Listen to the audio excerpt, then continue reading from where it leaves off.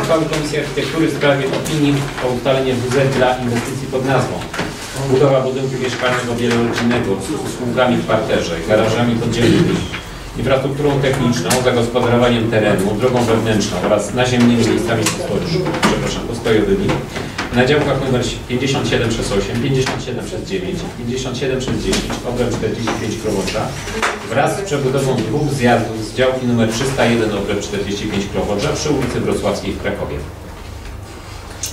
Paragraf pierwszy. Rada Dzielnicy Piątej Krowodża negatywnie opiniuje wniosek o wydanie decyzji WZ dla inwestycji pod nazwą Budowa budynku mieszkalnego wielorodzinnego z usługami w parterze i garażami podziemnymi, infrastrukturą techniczną, zagospodarowaniem terenu, drogą wewnętrzną oraz naziemnymi miejscami postojowymi na działkach 57 przez 8, przez 9, przez 10, obręb 45 Krowodża wraz z przebudową dwóch zjazdów z działki 301, obręb 45 Kowodża przy ulicy Wrocławskiej w Krakowie z uwagi na zbyt dużą wysokość zabudowy, niespełnienie zasady dobrego sąsiedztwa, maksymalna akceptowalna liczba kondygnacji 5.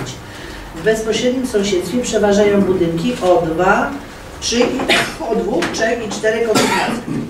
Zbyt mała powierzchnia biologicznie czynna, zaburzenie warunków komunikacyjnych w związku z budową drogi wewnętrznej od wjazdu A i B w rejonie przystanku komunikacji miejskiej oraz zwiększenie zagrożenia bezpieczeństwa ruchu pieszych w ciągu ulicy Wrocławskiej, nieprzystosowanie przepustowości ulicy Wrocławskiej do zwiększenia ruchu samochodowego, niedostosowanie liczby miejsc parkingowych ogólnodostępnych do planowanej powierzchni usługowej.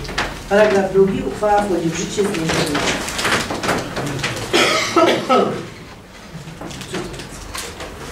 Proszę Państwa, to jest e, budynek, niestety nie mam wskaźnika, bardzo przepraszam, skończyła nam się bateria, ale e, widzimy po lewej stronie e, to jest ulica Poznańska, po prawej stronie Pionowa to jest ulica Oboźna, po skosie na dole to jest ulica Wrocławska. I e, w chwili obecnej na tym terenie planowanego budynku znajduje się taki, taki pawilon jednopiętrowy, tam zdaje się jest taki barak, e, tam jest jadłodajnia, tak? Też. Jakiś bar, takie różne rzeczy. E, Po prawej stronie przy ulicy Oboźnej mamy tutaj jeden Jadłodajnia to jest ten budynek, a tu, y, tu, tu są te, y, te baraki, które będą podlegać wyburzeniu. A ten duży budynek jest przy prawej z stronie? prawej strony. Tak, a po prawej stronie, nie tam gdzie dawniej był UPC chyba, Nie, Aster, tak, Aster. Ma tam 11 piętr. Poznańska, czy po lewej, bo tam jest... No a vis-a-vis są wszystko 2 czy 4 piętra. Ta po lewej to nie jest poznańska? Nie, Nie, to jest ta ulica y, do Gruzu prowadząca. Instytut Obróbki z Krawaniem. Tak, tak, tak. To jest ta środka ulica Instytut, Instytut Obróbki z Krawaniem. Zgadzam się. adres wrocławski.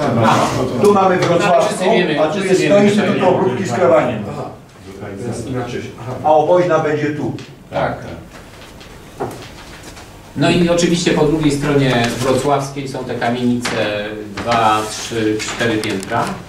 Natomiast ten budynek, który jest planowany ma y, kondygnacji, jakby Pani Pani Agata przeskoczyła, bo tam mamy taki, takie zdjęcie, które nam pokaże.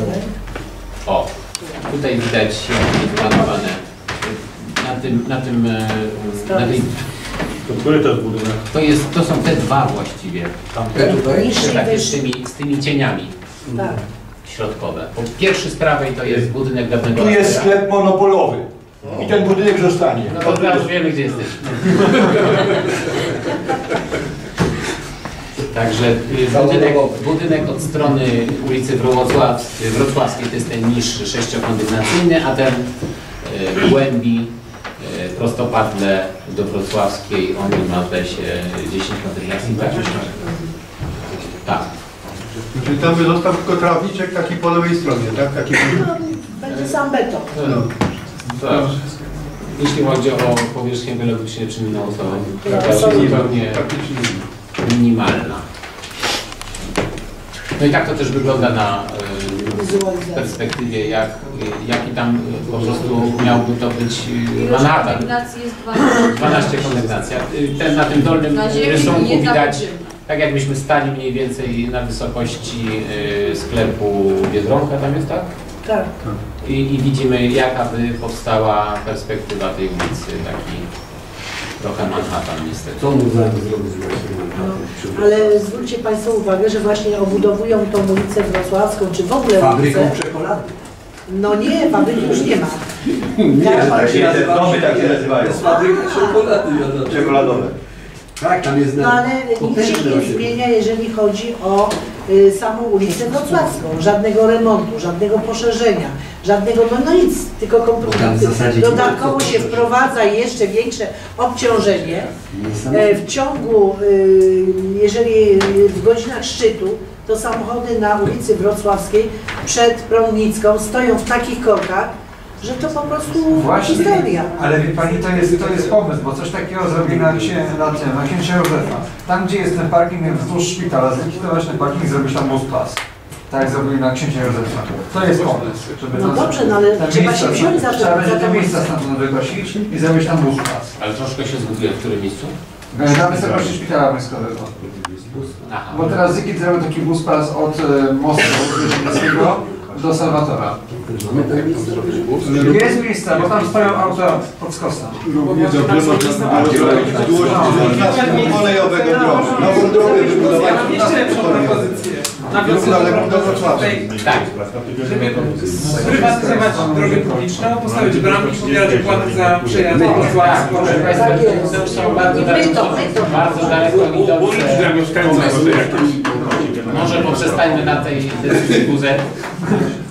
Czy jeszcze jakieś zgłoszenia? W takim razie przechodzimy do głosowania. Kto z Państwa jest za przyjęciem tego projektu uchwały? Proszę o podniesienie Dziękuję. Kto jest przeciw? Dziękuję. Kto wstrzymał się od głosu? Dziękuję. Stwierdzam, że uchwała została przyjęta jednogłośnie. Kolejny projekt uchwały